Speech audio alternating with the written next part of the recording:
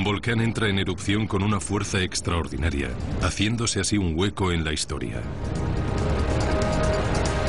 Sus consecuencias serán el doble de catastróficas que las del volcán que sepultó la antigua ciudad de Pompeya y diez veces peores que las del volcán Santa Elena. Es la mayor erupción volcánica jamás filmada y una de las más destructivas de todos los tiempos. Monte Pinatubo, Filipinas, 15 de junio de 1991. Los hombres y mujeres atrapados en este cataclismo de la naturaleza vivirán o morirán gracias a la ciencia o a su fe.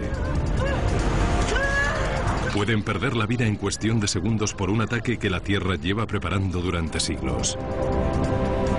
Hombres y mujeres descubrirán lo grandes y a la vez lo pequeños que son cuando se enfrentan a una catástrofe.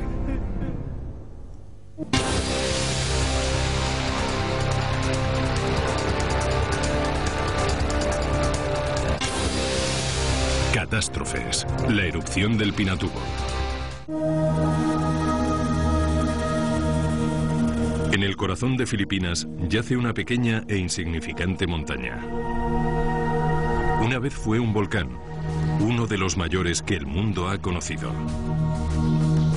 Pero durante cinco siglos el monte Pinatubo ha permanecido inactivo. Y ha sido ignorado por cientos de miles de filipinos que viven a su alrededor. Sin embargo, para los pueblos que habitan en las laderas, es una montaña sagrada. Los aetas loan y rinden culto al monte Pinatubo. Al igual que el resto de su tribu, Flor de la Cruz cree que Apo Malari, el dios de todas las cosas, vive en el interior de la montaña. Es responsabilidad nuestra cuidar y defender la montaña. Es un monte sagrado, porque creemos que allí vive Apo Malari. Pero lo que se revuelve en las profundidades de Pinatubo no es un dios, sino un monstruo de lava. Se están abriendo fisuras en el lecho de la montaña y a kilómetros por debajo de la corteza terrestre yace la causa de ello, un colosal y arremolinado mar de magma, un material ígneo fundido. Inmensas fuerzas se revuelven en su interior, pero en la frágil superficie muy pocos saben que viven sobre un volcán. El 2 de abril de 1991 por la mañana llega el primer aviso del apocalipsis.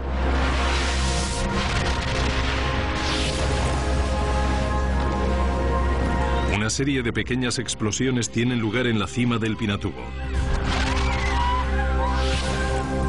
Pero los aetas son los únicos testigos de estas explosiones y columnas de humo. Los únicos testigos de los avisos del Pinatubo son los pueblos que lo veneran. Al ver las explosiones nos quedamos aterrorizados. Nadie sabía qué estaba pasando. Por la noche vimos una luz roja en la parte de arriba de la montaña. Parecía estar sangrando.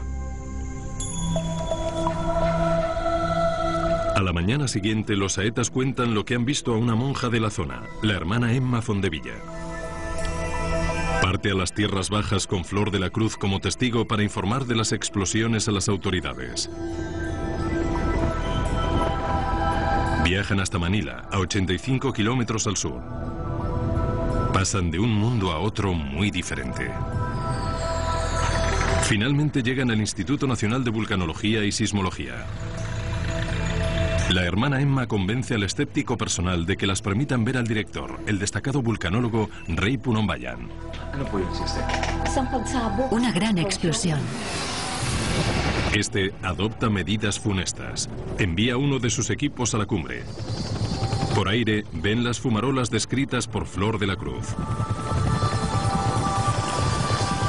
Y cuando aterrizan, sus sismógrafos indican que algo se remolina en el interior de este volcán que ha estado inactivo durante mucho tiempo. Durante las 24 horas siguientes detectan más de 200 terremotos independientes. Pinatubo está cobrando vida. La causa de los terremotos puede ser el movimiento geotérmico del vapor y del agua recalentada. Pero el instinto le dice a Rey Punombayan que hay otras fuerzas mucho más poderosas en acción. Sabe que las Filipinas se encuentran sobre el anillo de fuego, una cadena que rodea el Océano Pacífico y que alberga la mayoría de los volcanes del mundo. Decidir si el monte Pinatubo está cobrando vida será como jugar al póker con la naturaleza. Pero las apuestas serán la vida o la muerte. De 20.000 aetas que habitan en la montaña y de cientos de miles de filipinos que viven en las ciudades y pueblos de las tierras bajas vecinas.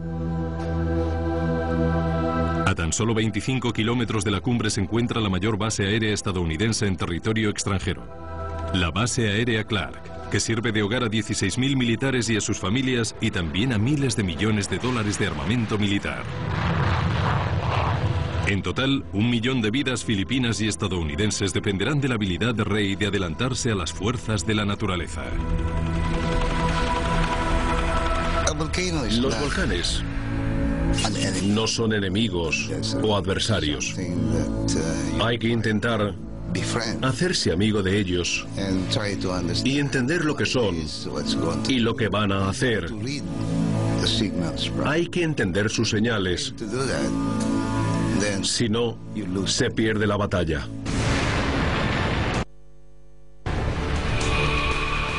Rey sabe que las erupciones volcánicas no se pueden detener, pero sí se puede sobrevivir a ellas. Si Pinatubo está a punto de estallar, tiene que pronosticar cuándo y tiene que hacerlo pronto. Si ordena la evacuación demasiado pronto, la gente regresará a sus hogares. Pero si da la orden demasiado tarde, pueden morir miles de personas. Durante días, su equipo estudia los terremotos que se producen bajo la montaña. Pero su equipo se ha quedado anticuado. Los filipinos necesitan ayuda y Rey sabe dónde encontrarla. Chris Newhall del Servicio Geológico de los Estados Unidos en Washington es un viejo amigo suyo y también vulcanólogo. Él dispone de los instrumentos de alta tecnología que ayudarán a Rey a conocer los secretos del Pinatubo. El 23 de abril, él y un equipo de destacados científicos estadounidenses se unen al equipo de investigación de Rey. Montan su centro de operaciones en la base aérea Clark, muy cerca de la cumbre del Pinatubo. Para ellos, como para todos los que viven en los alrededores, la montaña parece no haber cambiado desde la antigüedad. Éramos conscientes de que el Pinatubo no había entrado en erupción en más de 500 años. Y mucha gente, yo diría que la mayoría, pensaba que ni siquiera era un volcán. Rey y su equipo saben que Pinatubo es un volcán, pero ¿de qué tipo y de qué peligrosidad? Aunque algunos volcanes como el Mauna Loa y el Kilauea en Hawái arrojan ríos de lava, las erupciones más catastróficas son las explosivas, porque expulsan montones de magma de repente, sin avisar. En lugar de lava, los volcanes explosivos arrojan coladas piroclásticas enormes, es decir, ríos de piedras y cenizas. No es un huracán, sino una explosión de piedras, cenizas y gases. Nadie sobrevive a estas coladas piroclásticas. Ray y Chris estudian fotografías aéreas de la última erupción del Pinatubo. Se sobrecogen por lo que ven en los mapas y en los informes, ya que confirman que se trata de uno de los volcanes explosivos más grandes de la historia. Yo pensé, Dios mío, ¿qué vamos a hacer? Nos dimos cuenta de que la última erupción del Pinatubo fue de la misma magnitud que la del Krakatoa en 1883. Krakatoa, una lejana isla de Indonesia, explotó en 1883 y es la erupción volcánica más catastrófica de la historia. En los erosionados cañones del Pinatubo, Ray y Chris encuentran pruebas de la última gran erupción. Coladas piroclásticas que una vez incineraron y sepultaron la zona sobre la que se encuentra la base aérea Clark. ¿Podría producirse un cataclismo así de nuevo? Los sismógrafos hablan de una catastrófica amenaza. Un millón de vidas corren peligro. Un millón de personas dependen de unos pocos. Rey y su equipo están muy preocupados por lo que han averiguado del pasado de Pinatubo. Y los sismólogos continúan detectando terremotos bajo la superficie de la montaña. Mientras Rey estudia la amenaza, los aetas rezan para apaciguar el antiguo espíritu del Pinatubo, el espíritu de su dios Apo Malari.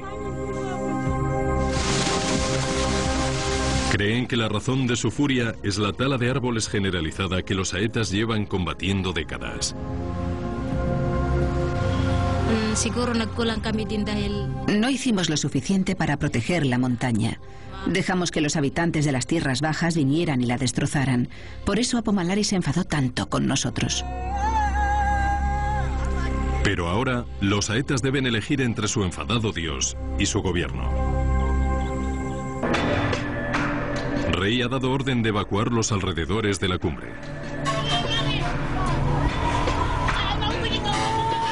Desalojan a los aetas que se van del lugar descorazonados. Para ellos, abandonar sus tierras sagradas significa dar la espalda a su dios. Desde las altas laderas, miles de aetas empiezan a bajar de la montaña para realojarse en campamentos en las tierras bajas. Pero en un remoto barranco de la parte este del Pinatubo, una tribu de aetas ha decidido quedarse y dejar su destino en manos de Apo Malari.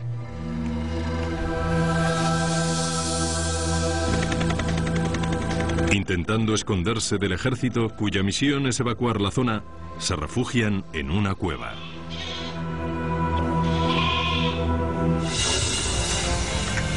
Los temblores son cada vez menores. El volcán no está preparado aún. En las profundidades de la Tierra hay un siniestro silencio. ¿Se está haciendo el dormido Pinatubo? ¿Habrá vuelto a la latencia? ¿Se trata de una falsa alarma? 1985. La ciudad de Armero en Colombia es sepultada por un torrente volcánico.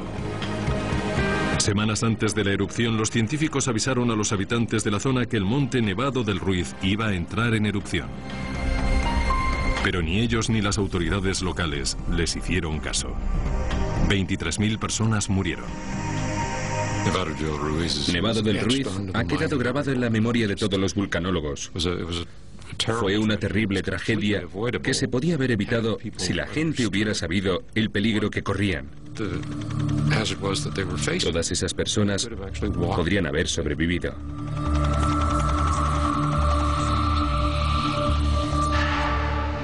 Rey Punombayan no va a permitir que eso ocurra en su país. Pero a su alrededor hay un clima de escepticismo e incredulidad.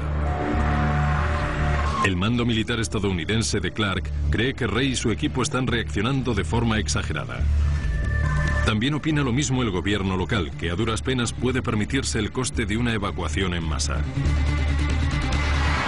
A pesar de los pronósticos de Rey y su equipo, Pinatubo no ha entrado en erupción todavía. Chris libra una batalla contra el escepticismo local.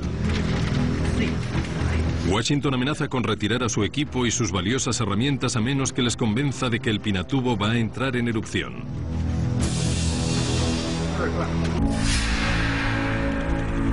Él y Rey tienen que encontrar pruebas concluyentes de que hay magma en el interior del Pinatubo. Para encontrarlas tendrán que hacer un arriesgado viaje en helicóptero volando muy cerca de las fumarolas del volcán. La lava está cargada de ciertos gases entre los que se encuentra el dióxido de azufre. Si Chris logra encontrar el gas, podrá demostrar que hay magma bajo la superficie. Finalmente encuentra dióxido de sulfuro. Escapan toneladas por las fumarolas del volcán. No hay manera de saber lo cerca que el magma se encuentra de la superficie, pero el dióxido de sulfuro es la prueba que demuestra que se puede producir una erupción. Sin embargo, lo que no puede ver es la magnitud del cataclismo que se aproxima. Un monstruo candente se prepara para atacar. Pero en la superficie nada indica que se avecina una erupción.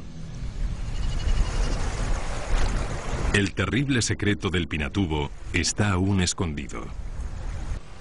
Los habitantes de las tierras bajas son totalmente ajenos al peligro que les rodea. No se tiene miedo de lo que no se ve. ¿Les dejará quedarse rey o les obligará a abandonar la zona? Durante dos semanas, el equipo observa en la base aérea Clark los niveles de dióxido de sulfuro sobre la cumbre. En esas dos semanas se mantienen fijos, pero de repente caen en picado. Solo puede significar dos cosas. Que el magma haya decrecido y Pinatubo haya cancelado su ataque, o que se está sobrecargando y un enorme barril de polvo podría estallar en cualquier momento. Rey tiene que dar el aviso. ¿Está Pinatubo amainando o iniciando la erupción? Tiene que tomar una decisión muy difícil. Se podría producir una erupción en un día o en una década. Los volcanes son así de impredecibles. Sabíamos que había mucho fuego. Desconocíamos la magnitud del tapón. Teníamos que trabajar rápido.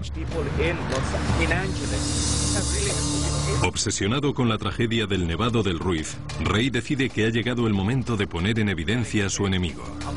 Muy pronto tendrá lugar la erupción culminante.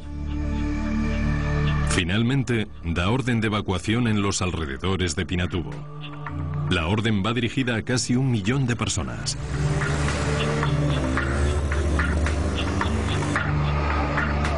¿Pero es demasiado tarde? ¿Cumplirá todo el mundo la orden?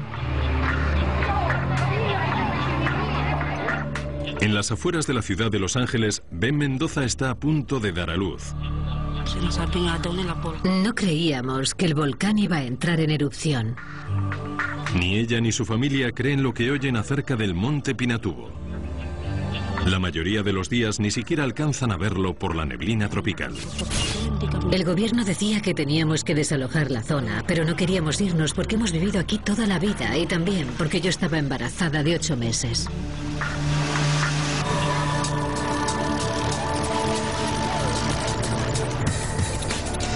Los filipinos no quieren abandonar sus hogares y en la base aérea Clark a los militares tampoco les gusta la idea de la evacuación. Los militares se muestran reacios a abandonar la base hasta que los científicos aseguren que se va a producir una erupción. Los aviones continúan despegando y aterrizando sobre los restos de la última erupción del Pinatubo como si esta nunca hubiera tenido lugar. Se produce un pulso entre los científicos y los militares. En el estudio de televisión de la base aérea presionan a Chris Newhall para que dé la fecha exacta de la erupción. No tenemos una bola de cristal que nos diga la fecha exacta de la erupción.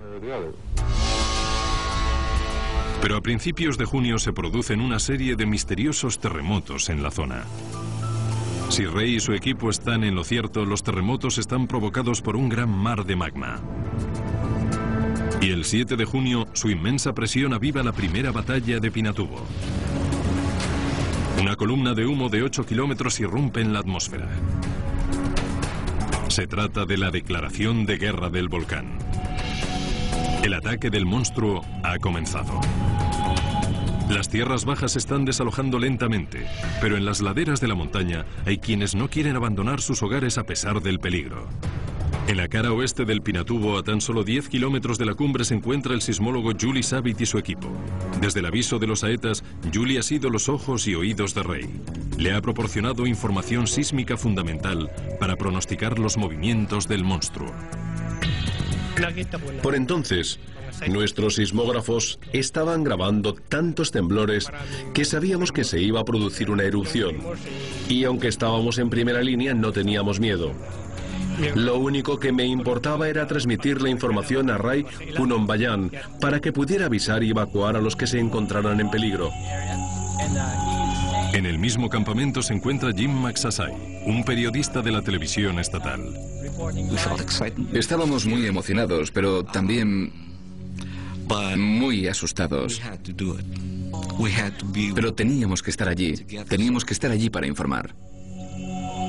Había cubierto otras erupciones volcánicas y sabe cómo actuar en estas situaciones.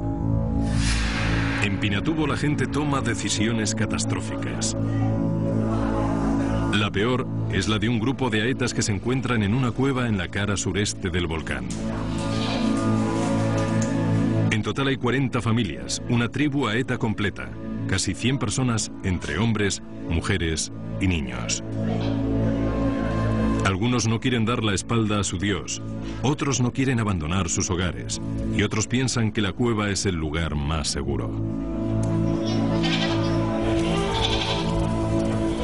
Un miembro de la tribu, Sebio, aguarda con su mujer y su hijo la decisión de Apo Malari, el dios del monte Pinatubo.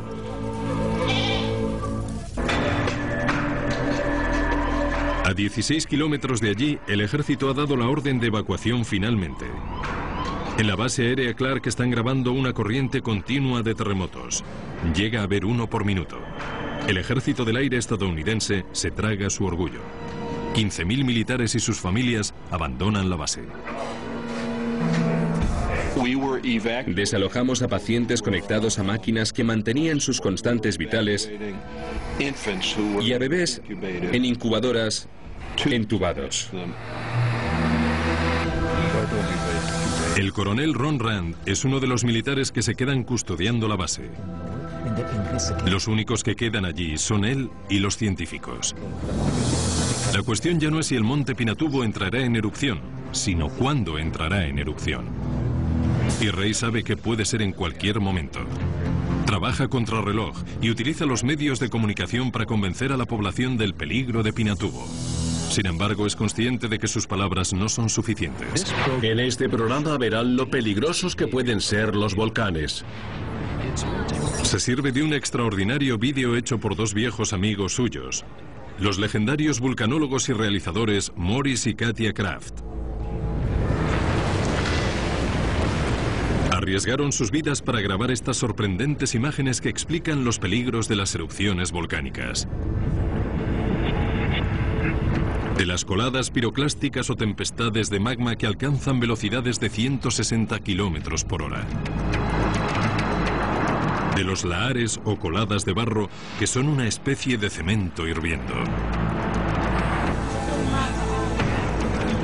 Copian la cinta y la exhiben por todos los pueblos y ciudades de los alrededores del Pinatubo. Filipinos como Ben Mendoza y su familia se dan cuenta del peligro que corren. Lo que vimos por televisión nos asustó mucho. Se veía cómo los volcanes mataban a muchas personas y pensé que eso nos podía pasar a mí y a mi familia. Fue horrible ver esas imágenes. Por todas las tierras bajas miles de personas se unen a un enorme y lento éxodo. Ya no hay vuelta atrás. Mientras su vídeo se exhibe en Filipinas, Morris y Katia Kraft se encuentran en Japón grabando un volcán en erupción. Prometen a Rey que se unirán a su equipo cuando terminen en Japón. Pero el 2 de junio, unos días antes de marcharse a Filipinas, mueren junto con otros 40 periodistas cuando una colada piroclástica da un giro inesperado.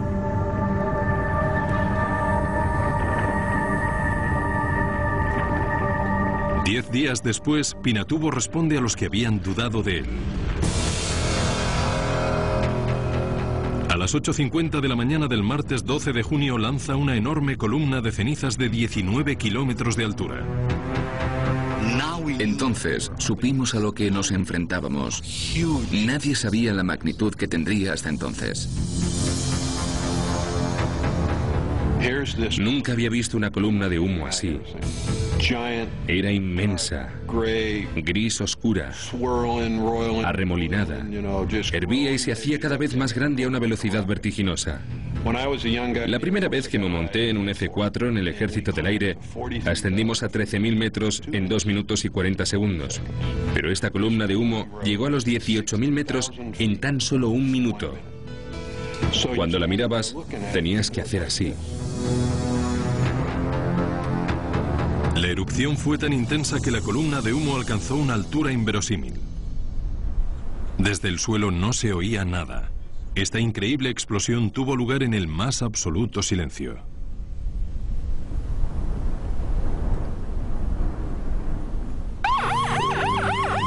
Los ejércitos de tierra y aire filipinos continúan sus labores de evacuación en la montaña. Cada vez encuentran más saetas. Muchos filipinos creen que esta es la erupción culminante. Creen que es la erupción más grande. Rey y su equipo saben que no es así. El magma en el interior del Pinatubo sigue hirviendo y reuniendo fuerzas, pero todavía no ha alcanzado la superficie. Esta no es la erupción principal del Pinatubo. Es solo el comienzo.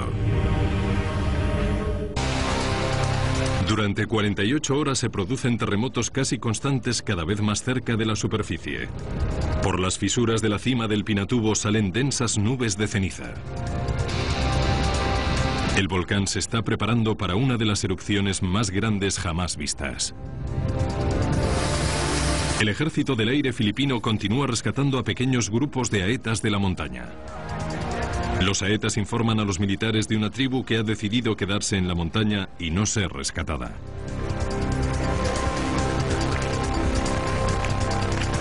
En las tierras bajas miles de personas abandonan la zona. Nubes de humo salen de la montaña. Los habitantes de la zona abandonan sus pueblos. Ben Mendoza en sus últimos meses de embarazo se une al éxodo masivo junto a su marido y sus padres. De repente oscureció y empezó una lluvia de cenizas. Fue horrible. Mi marido, mis padres y yo, embarazada de nueve meses, tuvimos que correr por una carretera llena de baches para ponernos a salvo. Puede que sobreviviera al volcán, pero ¿y su hijo? Ya de noche la oscuridad en los alrededores del Pinatubo se rompe por las fisuras producidas por el revuelto mar de magma del interior. Quedan pocas horas para que el fuego infernal alcance la superficie.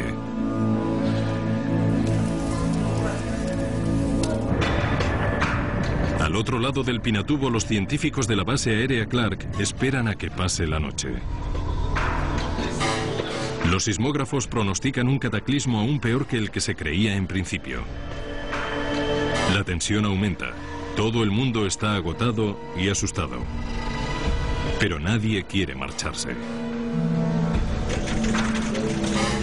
La sismóloga PJ de los Reyes está asustada por lo que indican los sismógrafos. Sentía que tenía que estar allí. No tenía elección. Mis hijos me necesitaban, pero mi país también. Así que no tuve elección. Los minutos pasan y queda menos para la catástrofe. Y a las 5.55 de la mañana los sismógrafos se disparan. Ha comenzado. Los que permanecen en la base aérea de Clark son testigos de algo inimaginable. El horizonte es una nube gigante de cenizas ardiendo. La erupción culminante de Pinatubo ha comenzado. Sobrecogida, la geóloga Leyo Bautista se da cuenta del peligro que corre. Los mismos que han avisado a otros del riesgo están ahora en peligro. Lo primero que pensé es que no volvería a ver a mi familia. Llevaba un mes y medio lejos de mi casa y de mi familia. Y no sabía si los iba a volver a ver de nuevo.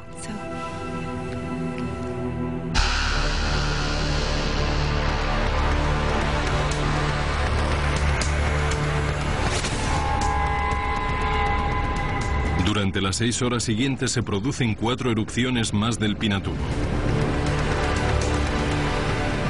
Se hizo de noche a las 3 de la tarde. Parecía el fin del mundo. Eran las 3 de la tarde y parecía medianoche. Se podía oír la ceniza cayendo.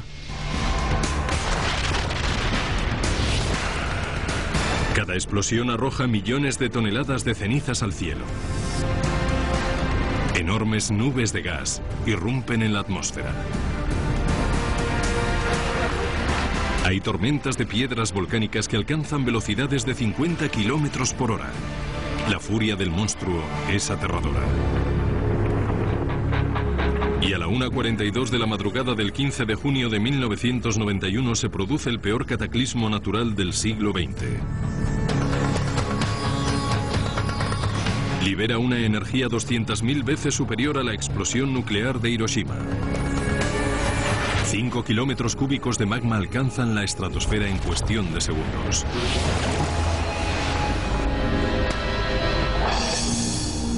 Desde el espacio parece que se trata de una explosión nuclear que cubre las Filipinas y la parte sur del mar de China. Las coladas piroclásticas se extienden en todas direcciones y a toda velocidad. Y forman nubes asesinas de cenizas y piedras ardientes. Ni siquiera haciendo estallar a la vez todas las bombas, misiles y explosivos del mundo, se hubiera conseguido lo que la madre naturaleza hizo aquel 15 de junio. Fue algo increíble.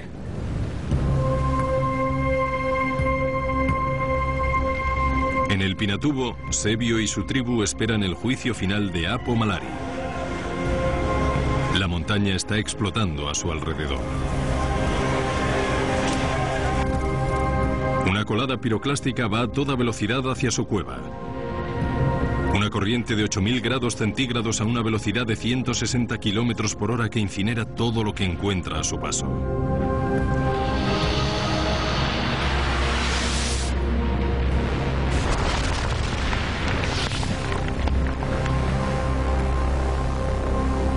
Muerte se arremolina en la cueva, quemando a la gente viva.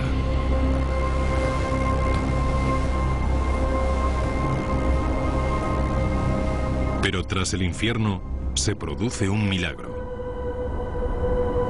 Sebio ha sobrevivido, y también su mujer y su hijo.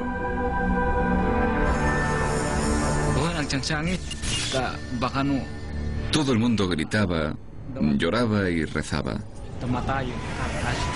Nosotros rogábamos a Dios que no nos dejara morir, sobre todo a los niños. Creíamos que íbamos a morir.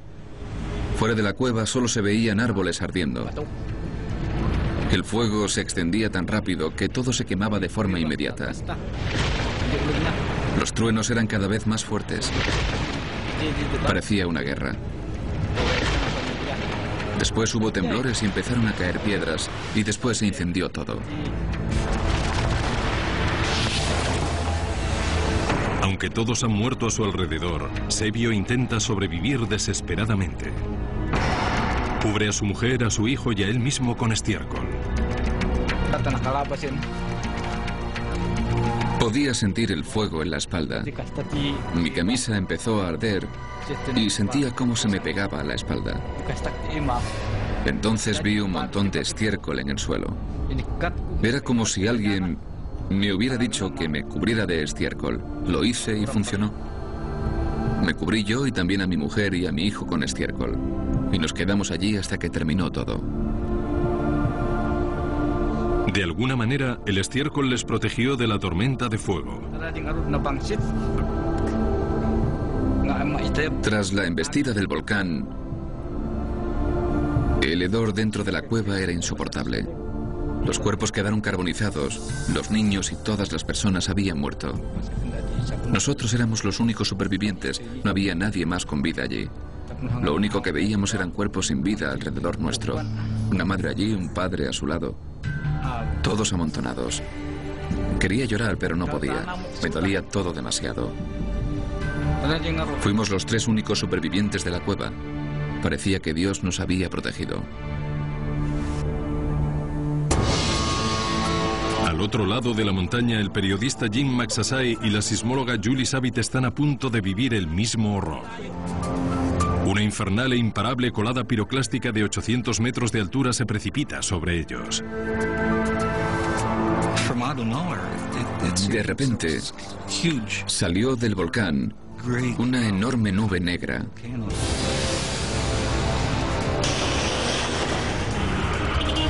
Subieron a sus coches rápidamente intentando escapar del infierno que se precipitaba sobre ellos. En el coche gritábamos y maldecíamos.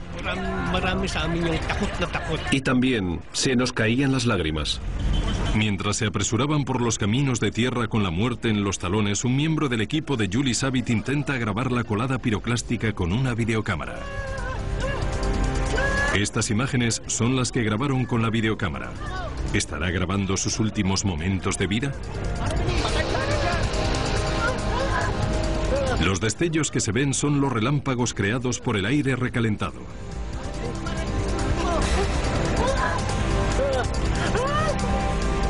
Su única esperanza es llegar a terrenos más altos.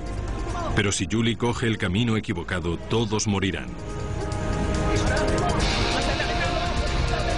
Miré a mi derecha y a mi izquierda y vi que la nube nos estaba alcanzando por los dos lados.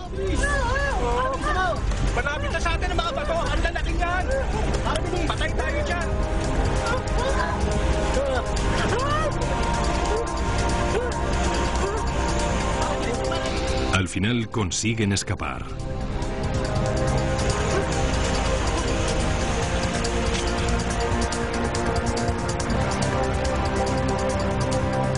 Parece que los alrededores del Pinatubo y el norte de Filipinas hayan sido invadidos por un infierno.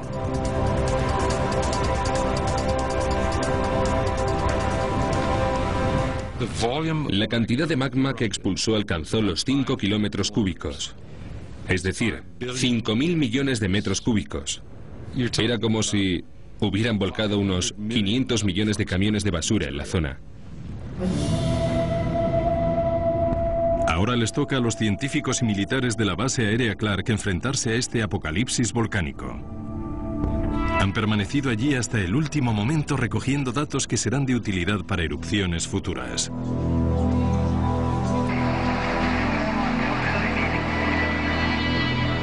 Uno de los geólogos me dijo, espero que tengas mantequilla porque estamos a punto de convertirnos en sándwiches. Se habían quedado allí demasiado tiempo. Las coladas piroclásticas y las tormentas de ceniza se arremolinan sobre el Pinatubo acabando con todo lo que encuentran en su camino. Todos tienen en mente que la base aérea Clark se encuentra sobre los restos de lava de la última erupción del Pinatubo. Empiezan a fallar los sismógrafos que están entre la base y la montaña.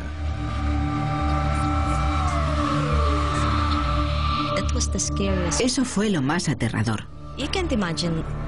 Es muy duro saber que te puede matar una colada piroclástica. Lo único que queríamos era salir lo antes posible de la base aérea Clark. Cegados por la ceniza y atrapados en un vendaval de fango, se dirigen al oeste. Parecía que estábamos atrapados en el coche, no podíamos salir. En su coche, Leyo Bautista intenta no dejarse llevar por el pánico mientras se adentra en una impenetrable oscuridad. Conducía a 10 kilómetros por hora, muy despacio. Pero me di cuenta de que si había una erupción más fuerte, moriríamos fritos. Parecía que íbamos a morir. Creí que moriríamos. Ron Rand pierde al resto de su equipo. Está solo ante el peligro. Estaba todo muy oscuro y había un ruido infernal. Caían piedras y cosas por todos los lados. La tierra retumbaba por los continuos terremotos. Las piedras que caían del cielo golpeaban mi coche. Entonces empecé a dudar de si saldría de allí con vida. Durante una angustiosa hora intenta encontrar al resto de sus compañeros. Detrás de él, las coladas piroclásticas alcanzan las puertas de la base aérea. Pero para entonces ya están a salvo. Sin embargo, las consecuencias del Pinatubo no acaban aquí. A esta erupción volcánica se unirá otra colosal fuerza de la naturaleza. La catástrofe no ha terminado aún. Del millón de personas amenazadas por el monte Pinatubo antes de la erupción, solo unas 100 corren a un peligro. Sus laderas y tierras bajas están prácticamente desiertas. Parece que el hombre escapará a la ira del monstruo. Pero el volcán tiene un cómplice asesino. Un gran tifón llamado Yunya. Se trata de una increíble y mortífera coincidencia de fenómenos naturales. Atravesando el sur del mar de China, el tifón Yunya llega al Pinatubo justo cuando el volcán entra en su fase más catastrófica. Es la peor combinación posible de calamidades. Es increíble e inimaginable Si estos dos fenómenos ocurrieran al mismo tiempo, estábamos en medio de una batalla entre las fuerzas de la naturaleza, justo en medio. Miles de millones de toneladas de cenizas quedan atrapadas en las ráfagas de viento y lluvias torrenciales del tifón, dando lugar a tormentas de fango hirviendo. Parecía que caía cemento del cielo. Casas y todo tipo de edificios sucumben a la devastación de la tormenta de fango. Sucede rápido y sin previo aviso, aplastando a los que encuentra a su paso. Hubiera sido demasiado para cualquier ciudad. No era natural.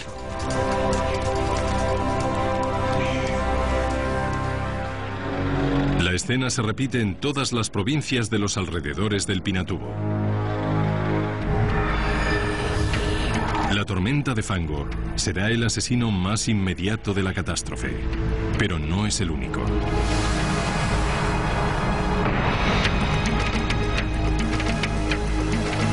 Los torrentes de agua que emanan del Pinatubo llevan enormes cantidades de restos volcánicos ardiendo. Se conocen con el nombre de lahares, densas coladas de fango que inundan las tierras bajas y hacen desaparecer ciudades y todo lo que encuentran en su camino.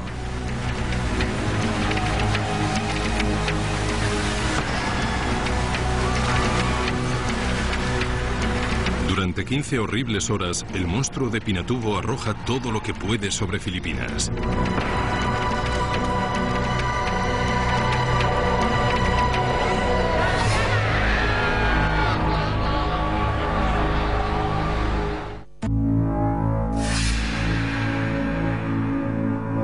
Y cuando finalmente sale el sol dos días después, parece que brilla sobre otro planeta. Hay un paisaje lunar, un mundo en blanco y negro sin vida.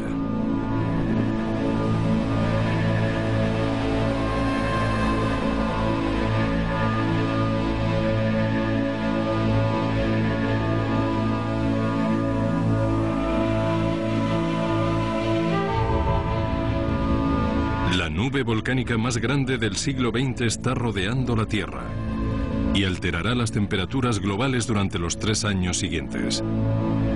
La base militar estadounidense más grande sobre suelo extranjero ha sido destrozada. Clark es derrotada por la fuerza más poderosa de la Tierra, por una fuerza más destructiva que cualquier enemigo humano.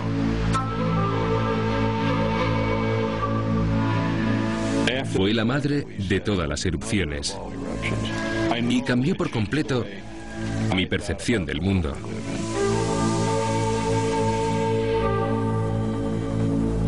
La naturaleza luchó muy duro, pero sus oponentes, hombres como Rey Punombayan y los hombres y mujeres que trabajaron con él, pudieron con ella. De forma increíble, menos de 300 personas perdieron la vida, pero podrían haber muerto miles.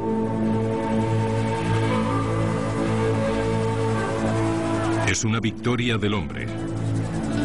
Se evitó una catástrofe humana.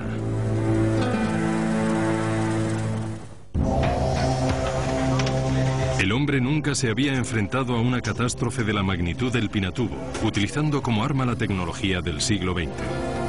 Pero no solo la ciencia salvó vidas, el esfuerzo humano fue fundamental. De no haber sido por el esfuerzo humano, las consecuencias hubieran sido mucho más catastróficas. Pinatubo demostró que el hombre no puede pronosticar la erupción de los volcanes, pero puede salvar muchas vidas en una catástrofe de estas características. Asimismo demostró que aunque disponemos de muchos avances científicos, a veces ignoramos a la madre naturaleza.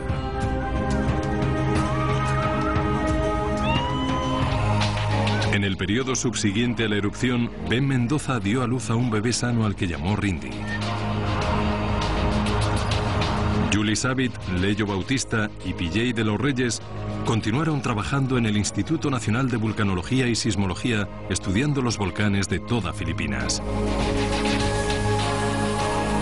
Chris Newhall continuó trabajando en el Servicio Geológico de los Estados Unidos. Cuando se jubile se trasladará a Filipinas. Jim Maxasai, al igual que los que vivieron la erupción, afirma que esta experiencia le cambió la vida. Pinatubo se convirtió en uno de mis mejores amigos. Me ha enseñado muchas cosas. Me ha enseñado el valor y la fragilidad del ser humano. Y Rey Punombayan, el héroe indiscutible de una de las grandes catástrofes de la historia moderna, se jubiló en 2002.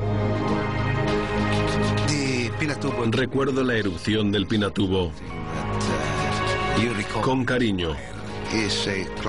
Es el clásico ejemplo de que la cooperación internacional es necesaria en desastres naturales así. Es una historia con final feliz.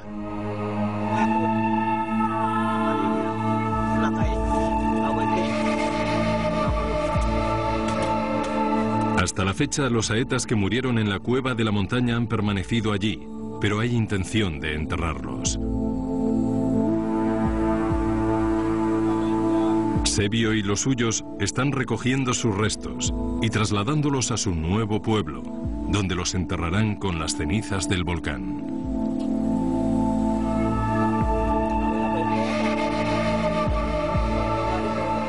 Cuando recuerdan a sus muertos se entristecen. Sin embargo, miran al futuro con esperanza.